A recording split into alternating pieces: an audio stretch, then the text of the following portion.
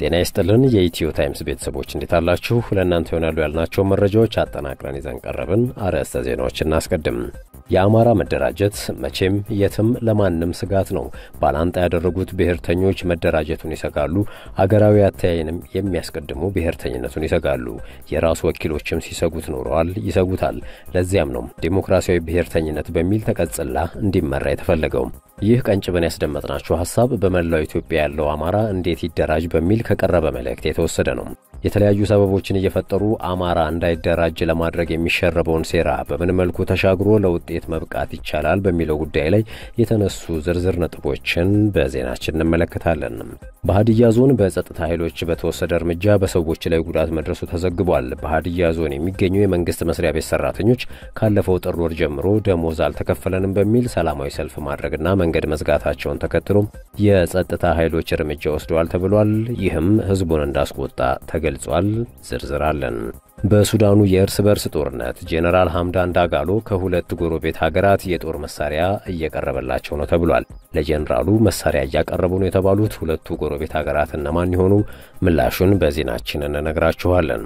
ውድ ቤተሰቦቻችን ከዚህ በተጨማሪም የአርበኛ ዘመነ ካሴን ሀሳብ የሚያንጸባርቁ ስራዎችን ትሰሪያለሽ በሚል በሽብር ስለተከሰሰችው ጋዜጠኛና በአማራነት እኮራለሁኝ ተፈጥሯዊ ነው በሚል በፍርድ ቤት ስለተናገረው ሌላ ጋዜጠኛም እንነግራችኋለን። ሌሎችም መረጃዎችን አካተናል። እናንተም እስከ መጨረሻው አብራችሁን እንድትሆኑ ለቻናላችን አዲስ የሆናችሁም ቻናላችንን subscribe እያደረጋችሁ የደወል ምልክቷንም እየተጫናችሁ እንድትቀላቀሉን በአክብሮት ጋበዝን።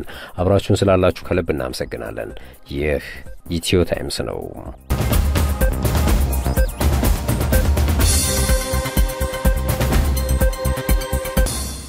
ከሰባት ቀናት እስር በኋላ ዛሬ ፍርድ ቤት የቀረበችው ጋዜጠኛ ሰናይት አያሌው በሽብር ወንጀል ተከሰሰች። የአሻራ ሚዲያ ባልደረባ የሆነችው ጋዜጠኛ ሰናይት አያሌው በዛሬው ዕለት ባህር ዳር ከፍተኛ ፍርድ ቤት ቀርባለች። የመከላከያ ሰራዊትንና የአማራ ልዩ ኃይልን የሚያጋጭ ሀሳቦችን ታራምጃለሽ፣ እንዲሁም ምሽት ላይ በራሪ ወረቀቶችን በትነሻል የአርበኛ ዘመነ ካሴን ሀሳብም የሚያንጸባርቁ ስራዎችን ትሰሪያለሽ። ይህንን ማድረግ ደግሞ የሽብር ወንጀል ነው ሲል መርማሪ ፖሊስ ከሷታል። የባህር ዳር ከፍተኛ ፍርድ ቤት በበኩሉም በብሮድካስት ሕግ መሰረት አንድን ጋዜጠኛ ፍርድ ቤት ሳያቀርቡ ለሰባት ቀናት አፍኖ ማቆየት አይደለም አስሮ ማጣራት እንደማይቻል ጠቅሶ መርማሪ ፖሊስን ሞግቷል ነው የተባለው። ፍርድ ቤቱ ይህ ተግባር ወንጀል መሆኑንም ለፖሊስ እንዳስረዳ ተነግሯል። ጋዜጠኛ ሰናይት አያሌውም የቀረበብኝ የሽብር ክስ በሬ የወለደ ነው በሚል አስረድታ የአርበኛ ፋኖ ዘመነ ካሴ ሀሳብና አቋም አድናቂና ተከታይ መሆኗን ገልጻለች ነው የተባለው። ይህንን አቋም የመያዝ ተፈጥሯዊ መብት እንዳላትም አስረድታለች። የተከሳሽ ጠበቃ በበኩላቸው እስካሁን የታሰረችበትን ጊዜ ለማጣራት በቂ መሆኑን በመግለጽ በዋስትና እንድትለቀቅ ጠይቀዋል። የግራ ቀኙን ክርክር የተመለከተው የባህር ዳር ከፍተኛ ፍርድ ቤት ለመርማሪ ፖሊስ ተጨማሪ አምስት ቀናትን ፈቅዷል ተብሏል። ከችሎት ጋር በተያያዘ ሌላ ዜና ደግሞ ጋዜጠኛ አባይ ዘውዱም ዛሬ ፍርድ ቤት ቀርቦ ነበረ። እኔ የታሰርኩት የስርዓቱ አገልጋይ ባለመሆኔ የምሰራቸው ስራዎች ሁሉ እንደ ወንጀል እየተቆጠሩ ስለሆነ ነው ብሏል። ጋዜጠኛ አባይ ዘውዱ በዛሬው የፍርድ ቤት ቆይታው እዚህ ውስጥ ያለነው ዘጠና በመቶ አማራዎችንን በማንነታችን ኢሰብአዊ ድርጊት እየተፈጸመብን ነው ያለ ሲሆን እኔ በአማራነት የኮራለሁ ተፈጥሮዬም ነው ማለቱን ደግሞ የአማራ ሚዲያ ማዕከል አስነብቧል። ጄኔራል ሐምዳን ዳጋሎ ከሁለት ጎረቤት ሀገራት የጦር መሳሪያ እየቀረበላቸው ነው መባሉ መነጋገሪያ ሆኗል። ለመሆኑ እነዚህ ሁለት የጎረቤት ሀገራት እነማን ናቸው የሚለውም ጥያቄ ተነስቷል። በሱዳን ጦርና በጄኔራል ሐምዳን ዳጋሎ በሚመራው በሱዳን ፈጥኖ ደራሽ ኃይል መካከል የተፈጠረው ውጊያ አምስት ቀናትን አስቆጥሯል። አንድ ዓመት የተሻገረው የሩሲያና ዩክሬንን ጦርነት ትኩረት ያስነፈገው የሱዳን የእርስ በርስ ጦርነት አሁን የዓለምን ጆሮ ዓይንና ልብን ሰቅዟል።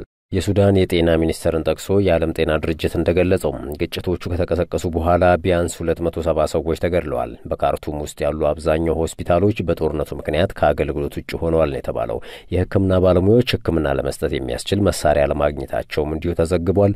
የዓለም አቀፉ ቀይ መስቀልና ቀይ ጨረቃ ማህበራት የሱዳን የጤና ስርዓት አደጋ ውስጥ ወድቋል ማለታቸውም ተመላክቷል። በአልቡርሃንና በሐምዳን ዳጋሎ ኃይሎች መካከል በሱዳን መዲና ካርቱም መሀል ላይ የሚደረገው ውጊያ ሌላኛው ስጋትን ያጫረ ጉዳይ ሲሆን ለቀጠናው ስጋትነቱ ይሻገራልም ተብሏል። ይህ የሱዳን የእርስ በርስ ጦርነት የአፍሪካውን ቀንድ እንዳያተራምስ የፖለቲካ ተንታኞች እንዲሁም የዲፕሎማቲክ ምንጮች አሳስበዋል። የአሜሪካ ውጭ ጉዳይ ኃላፊ አንቶኒ ብሊንከን ትላንት ባወጡት መግለጫ በአስቸኳይ ተፋላሚ ኃይሎቹ ጦርነቱን እንዲያቆሙ መጠየቃቸው ይታወሳል። በተመሳሳይ መልኩ የተባበሩት መንግስታት ድርጅት ዋና ጸሐፊ አንቶኒዮ ጉቴሬዥ ውጊያው ቶሎ ካልቆመ ወደ ቀጠናው እንዳይስፋፋ ስጋታቸውን አጋርተዋል። በኢትዮጵያ፣ ደቡብ ሱዳንና ሶማሊያ ባለፉት ዓመታት የነበሩት የእርስ በርስ ጦርነት እንዲሁም የአየር ንብረት ለውጥ ያስከተለው ድርቅ የአፍሪካን ቀንድ በፈተና ውስጥ እያሳለፉት ይገኛል ብለዋል። ለአልጀዚራ የሚጽፈው ሐምዛ መሐመድ የአፍሪካን ቀንድ በፈተና ውስጥ እያሳለፉት ይገኛል ያለው ደግሞ ለአልጀዚራ የሚጽፈው ሐምዛ መሐመድ ነው። በሱዳን ጦርና በሱዳን ፈጥኖ ደራሽ ኃይል መካከል እየተደረገ የሚገኘው መጠነ ሰፊ ጦርነት የቀጠናውን ሀገራት ውጥረት ውስጥ እንደከተታቸውም ተመላክቷል። በአብነት የተቀመጠው ደግሞ እሁድ ዕለት ኢጋድ ባደረገው ስብሰባ የኬንያ ደቡብ ሱዳንና ጅቡቲ መሪዎች አልቡርሃንንና ዳጋሎን እንዲያሸማግሉ መመረጣቸውን መግለጹ ነው። ነገር ግን የደቡብ ሱዳን መሪ ሳልቫኪር ወደ ካርቶም የሚያደርጉትን ጉዞ ሰርዘውታል። በምክንያትነት ያስቀመጡት ደግሞ የተባባሰውን ውጊያ በመጥቀስ ነው። ሱዳን ትሪቡን በበኩሉ ባወጣው ዘገባ ሁለት የጎረቤት ሀገራት ለጀኔራል ሐምዳን ዳጋሎ ድጋፍ እያደረጉ ይገኛሉ። ከእነዚህ ሀገራት ውስጥ አንደኛዋ በምዕራብ ትገኛለች ተብሏል። የዚህች ሀገር ማንነት ግን በግልጽ አልተነገረም። የሱዳን ሽግግር አስተዳደር ሉዓላዊ ምክር ቤት አባል የሆኑት ሻምሳልዲን ካባሺ ለአል በስልክ በሰጡት ቃለ መጠይቅ ዳጋሎ ከጎረቤት ሀገራት የጦር መሳሪያ እያገኘ ነው፣ ይህን በሚያደርጉ አካላት ደግሞ አዝነናል ብለዋል። ጥይትና ቁሳቁስ የጫኑ ሁለት አውሮፕላኖች ለዳጋሎ አቅርበዋል በማለት ካባሺ ወቀሳቸውን ያሰማሉ። ሶስት አውሮፕላን በሜሩ የአውሮፕላን ማረፊያ ለማረፍ ሙከራ ማድረጉንም ገልጸዋል። ድጋፍ አድራጊ ሀገራቱ በግልጽ ባይጠቀሱም የሱዳን ትሪቡን መረጃ ግን ራሳቸውን የቻሉ ሉዓላዊና በቂ አቅም ያላቸው ናቸውን የሚለው እንደሚታወቀው ለሱዳን ምዕራብና ደቡብ ምዕራብ አዋሳኝ የሆኑት ሀገራት ቻድና ማዕከላዊ ሪፐብሊክ አፍሪካ ናቸው። በአሁኑ ወቅት ሊቢያ፣ ቻድና ማዕከላዊ ሪፐብሊክ አፍሪካ የተረጋጋ ፖለቲካ የሌላቸውና የአማጽያን መፈንጫ መሆናቸው ሌላው የቀጠናው ስጋት ሆኗል። ለዚህም ነው የሱዳን ጦርነት በአስቸኳይ ካልበረደ ማጣፊያው ከባድ ይሆናል የተባለው። በትላንትናው ዕለት ለ24 ሰዓታት የተኩስ አቁም ስምምነት በሁለቱ ጄኔራሎች መካከል ቢደረግም ስምምነቱ ግን ሰዓቱ ሳይደፍን ተጥሷል ያለው ደግሞ ዘጋርዲያን ነው። ዛሬም ተመሳሳይ ለ24 ሰዓታት የሚቆይ የተኩስ አቁም ስምምነት ተደርጓል። ምናልባትም ይህ ካልተጣሰ ነው እየተባለም ይገኛል። ዓለም አቀፉ ተቋማት ጦርነቱ እንዲቆም ውትወታቸውን ቀጥለዋል።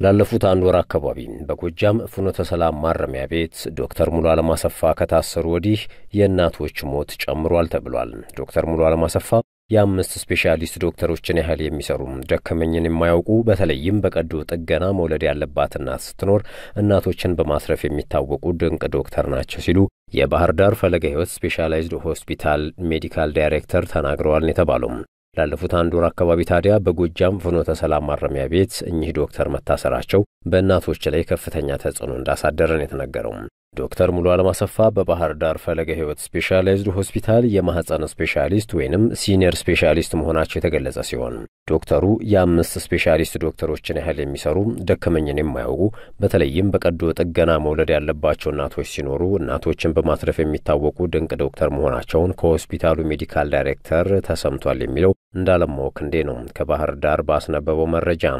ታዲያ ዶክተሩ ከታሰሩ በኋላ በፈለገ ሕይወት ሆስፒታል የእናቶች ሞት ጨምሯል የተባለው ዶክተር ሙሉ ዓለም አሰፋ የታሰሩበት ምክንያት ለአንዲት አጭበርባሪ ሴት የሕክምና ወረቀት ሰጥተሃል በሚል ተልካሻ ምክንያት ነው ይላል እንዳለማው ክንዴ በዚህ መረጃው። ምንም እንኳን እንዳለማው ክንዴ አጭበርባሪ በሚል የጠቀሳት ሴት በፈለገ ሕይወት ሆስፒታል የማህፀን ሕክምና ክትትል ስታደርግ እንደነበረ የተገለጸ ሲሆን ነገር ግን ይህች ግለሰብ የተሰጣትን የሕክምና ወረቀት በ editing ቀይራ የቀኑን ብዛት ጨምራው ነው ይህ ጣጣ የተከሰተው ተብሏል። ፍርድ ቤት ደግሞ ለዶክተር ሙሉ ዓለም የዋስትና መብትን ከልክሎ እስካሁን ድረስ ዶክተሩ በእስር ላይ እንደሚገኙ የተገለጸው በዚህም ምክንያት የእናቶች ሞት ጨምሯል ሲል ነው እንዳለማው ክንዴ ያስነበበው። በሀዲያ ዞን በጸጥታ ኃይሎች በተወሰደ እርምጃ በሰዎች ላይ ጉዳት መድረሱ ተሰማም። በዞኑ ካለፈው ጥር ወር ጀምሮ ደሞዝ ባለመከፈሉ በመንግስት ሰራተኞችና መምህራን ሰላማዊ ሰልፍ ተካሂዷል። በደቡብ ክልል ሀዲያ ዞን የሚገኙ የመንግስት መስሪያ ቤት ሰራተኞች ካለፈው ጥር ወር ጀምሮ ደሞዝ አልተከፈለንም በሚል ሰላማዊ ሰልፍ ማድረግ ከጀመሩ ሁለተኛ ቀናቸውን አስቆጥረዋል። በዞኑ ባዶዋቹ ወረዳና ሾኔ ከተማ ከሰባት ሰዓት በላይ በተደረገው ሰላማዊ ሰልፍ አዲስ አበባን ከአርባ ምንጭ የሚያገናኘው መንገድ ዝግ ሆኖ ውሏል። ከምሽቱ 12 ሰዓት በኋላ ታዲያ ሰልፈኞቹን ለመበተን በዞኑ ፖሊስ ተኩስ መከፈቱን ከምንጮች ሰማሁኝ ሲል አዲስ ዘይቤ ዘግቧል። በሾኔ ከተማ ሰልፉን ለመበተን በተወሰደው እርምጃ አንድ የፖሊስ አባል በራሱ ተኩሶ ጉዳት ደርሶበታል ይላል ዘገባው። ሶስት ሰዎች ደግሞ ድብደባ ተፈጽሞባቸው በከተማዋ ወደሚገኘው የመጀመሪያ ደረጃ ሆስፒታል መወሰዳቸው ተገልጿል። በሰልፉ ምክንያት የመንግስት አገልግሎት ሰጪ ተቋማት ሙሉ በሙሉ ተዘግተዋል ነው የተባለው። ከሚያዝያ አስር ቀን ጀምሮ እየተካሄደ ነው በተባለው ሰላማዊ ሰልፍ ትምህርት ቤቶች፣ የጤና ተቋማት እንዲሁም የተሽከርካሪዎች አገልግሎቶች መቋረጧቸው ተገልጿል። የሚመለከተው አካል ምላሽ የማይሰጥ ከሆነ የስራ ማቆም አድማና ሰላማዊ ሰልፉ ይቀጥላል ብለዋል ሰልፈኞቹም። ሰልፉን ለመበተን የተወሰደው እርምጃ ቁጣን እንደቀሰቀሰ የሚናገሩት ሰልፈኞቹ ከዚህ ቀደም በተመሳሳይ ሰላማዊ ሰልፍ መደረጉንም ተናግረዋል። ስልጣን የህዝብ ነው። የሰራተኛው የላብ ውጤት ይከፈለው። ልጆቻችንን መመገብና ማስተማር አልቻልንም። የቤት ኪራይ መክፈል አቅቶናል። እንዲሁም ለተለያዩ ኢኮኖሚያዊ ችግሮች እየተጋለጠን እንገኛለን ሲሉ ሰልፈኞቹ መልእክቶቻቸውን ይዘው በሰልፉ ላይ ታይተዋል። በጉዳዩ ላይ የዞኑን አስተዳደርና አመራሮችን ለማግኘት በተደጋጋሚ የተደረገው ጥረት እንዳልተሳካ አዲስ ዘይቤ በዘገባው ጠቅሷል። የአማራ መደራጀት መቼም የትም ለማንም ስጋት ነው። ባላንጣ ያደረጉት ብሔርተኞቹ መደራጀቱን ይሰጋሉ። ሀገራዊ አተያየን የሚያስቀድሙም ብሔርተኝነቱን ይሰጋሉ። የራሱ ወኪሎችም ሲሰጉት ኖረዋል፣ ይሰጉታል። ለዚያ ነው ዴሞክራሲያዊ ብሔርተኝነት በሚል ተቀጽላ እንዲመራ የተፈለገው። ይህንን ያለው የኢትዮ 251 ጋዜጠኛው ሙልጌታ አንበርብር ነው። ሙልጌታ አንበርብር በመላ ኢትዮጵያ ያለው አማራ እንዴት ይደራጅ በሚል ርዕስ ባስነበበው ጽሑፍ የተለያዩ ሐሳቦችን አንስቷል። የጋዜጠኛ ሙልጌታ አንበርብርን ሐሳብ እንደሚከተለው እናቅርብላችሁም። አንድ ተደማጭ ሰው ያውም በብሔር አማራ የሆነ ኢትዮጵያ የአማራን ብሔርተኝነት መሸከም አትችልም ሲል የአማራውን የብሔር አደረጃጀት አስጊነትን ሲያብራራ ሰምተናል። ስለዚህ እንዳይደራጅ ይልቁንም እየፈራ እንዲኖር ይፈልጋል። ለዚያ ነው ኦሮሚያ ውስጥ አማራ ነኝ ብሎ በአማራነት መሰብሰብ መደራጀት ወንጀል የሆነው። ለዚያ ነው በሰላም ለመኖር በመቶ ሺዎች የሚቆጠሩ አማራ የኦህዴድ ወይንም የብልጽግና አባል ሆኖ ለመኖር የተገደደው። ለዚያ ነው እየፈራ እንዲኖር ሳይደራጅ ቶሎ እያጠቁ በማፈናቀልና በመግደል ፈርቶ እንዲኖር የተፈለገው። መፍትሔው ግን መፍራት ሳይሆን መደራጀት ነው። የዚያ መጀመሪያ ደግሞ ቀደም ሲል የተመለከትናቸውን አቅሞች በሀገሪቱ ያለውን ሚናና አቅሙን መረዳትና ማደራጀት ይገባል። ማንም ሁን ምንም ሁን አማራ ከሆንክ ለሞት የታጨነ አማራ ክልል በሚባለው ግዛት የሚደረግ እንቅስቃሴና አክቲቪዝም ሌላውን አማራ ያገናዘበ ይሁን የሚለው የምንመለስበት ሆኖ አማራ አማራ አትበሉ፣ ከክልሉ ውጭ ያለውን ታስበሉታላችሁ የሚል እይታ ምንጩ ፍርሃት ነው። ይህ አተያይ አንድም አማራ ጥቅሙ የሚጠበቀው ዝም ሲል ነው የሚል አንድምታ ያለው ይመስላል። ለዚያ ይመስላል በየክልሉ ሲጠቃ እዚያው ካለው አማራ ይልቅ ባህር ዳርና ጎንደር አይነት የክልሉ ሰው ተቆርቋሪ ሆኖ ድምፁን የሚያሰማው። በመላ ኢትዮጵያ እየኖረ ከአራትና አምስት ክልሎች ሕዝብ ድምር የሚበልጥ ሕዝብ አንገቱን እንዲደፋ የሆነው አለመደራጀት በፈጠረው ፍርሃት ነው። ስለዚህ ባህር ዳር አመሏን ካላሳመረች ታልቃለህ የሚል ስለ ንቦና ፈሪና ተገዥ እንዲሆን ተፈልጎ የሚነገር ነው። ይህንን ሕዝብ መያዣ የማድረግ የጠላት አስተሳሰብ ወደ ሕዝባችን እንዲገባ አይገባም። እንዲደራጅ መብቱን እንዲያስከብር ነው መንገርም ማገዝም ማደራጀትም የሚገባው። አማራው በመደራጀትና ስነ ልቦናው ከፍ እንዲል እንጂ እንዲሸማቀቅ የሚያደርግ ስጋት ሊሰበክለት አይገባም። በዚያው ልክ በየክልሉ ያለው አማራ በመደራጀት የራሱን immunity ሊያዳብር ይገባል። እየፈራ በስጋት መኖር የለበትም። በተለያየ መንገድ መደራጀት አለበት፣ ደግሞም ይችላል። ለጋራ ደህንነት አድራሻ ተቀይሮ ከመነጋገር መረጃ ከመለዋወጥ ይጀምራል። በማኅበራዊ ዘርፍ በዕድር፣ ዕቁብ፣ ማኅበር፣ ጽዋ መደራጀት መጀመር ይቻላል። ይህንን ወደ ኢኮኖሚ አደረጃጀት ከፍ አድርጎ በአክሲዮኖች የልማት ተቋማትን በመሃል ሀገርና በአማራ ለመመስረት መንቀሳቀስ ይቻላል። የቤት ልማትና የንግድ ሕንፃዎችን በመገንባት ለልጅ ልጆቹ ከስጋት ነፃ ወደሆነ አካባቢ ቅርስም ሊያቆም ይችላል። ለራሱም ለልጆቹም ዋስትና የሚሆን ማኩረፊያ ወደ መሃል ሀገር ቢያቆም ከጊዜያዊ ስሜት አኳያ ሲሸማቀቅ አይኖርም። ይህንንና መሰል ጉዳዮችን ለማድረግ መነጋገር፣ መሰባሰብና መደራጀት አስፈላጊ ነው። አዳራሽ ቢጠፋ ወይንም ባይፈቀድ ቤትህ ውስጥ ተሰብስበህ አቅም መገንባት ይቻላል። ስላልተደራጀ ግን እየሰጋ ይኖራል። ቋንቋ መቻል አያድንህም። አይተኸዋል። በሁሉም መስክ ያለው ቢደራጅ ተአምር ይፈጥራል። ኢትዮጵያ የምትድነው በየአካባቢው ባለው አማራ ጠንካራ አቅም ነው። ቀጥሎም ከተለያዩ ብሔሮች በተዋለደው ኢትዮጵያዊ መደራጀት ነው። መደራጀትን ለመጀመር ሁሉም ሊስማማ የግድ አይደለም። ሁለት ሆናችሁ ጀምሩ ሀያ አድርሱት። ከዚያ ሁለት መቶ አስገቡት። ተጠባበቁ፣ ተነጋገሩ፣ ተገናኙም። እጅግ ለከፋው አደጋ ተዘጋጁ። ድል ለአማራ ሲል ሙልጌታ አንበርብር በማኅበራዊ ትስስር ገጹ ላይ በመላው ኢትዮጵያ ያለው አማራ እንዴት ይደራጅ የሚለውን ሐሳብ በተመለከተ ዝርዝር ሐሳቡን አጋርቷል።